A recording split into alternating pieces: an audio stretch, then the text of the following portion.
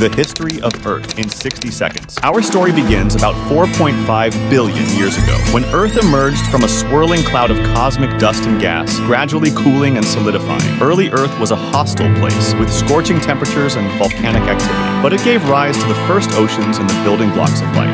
Around 3.5 billion years ago, life appeared in the form of simple, single-celled organisms, marking the dawn of biology. Fast forward to 2.5 billion years ago, when photosynthetic bacteria transformed the atmosphere, filling it with oxygen, paving the way for complex life. 230 million years ago, dinosaurs ruled the Earth. They thrived for millions of years until a catastrophic event led to their extinction. After the demise of the dinosaurs, mammals rose to prominence, eventually giving rise to primates and ultimately humans. In a mere blink of cosmic time, human civilization emerged, with remarkable achievements in science, technology, and culture. Facing climate change, biodiversity loss, we preserve Earth story of resilience, adaptation,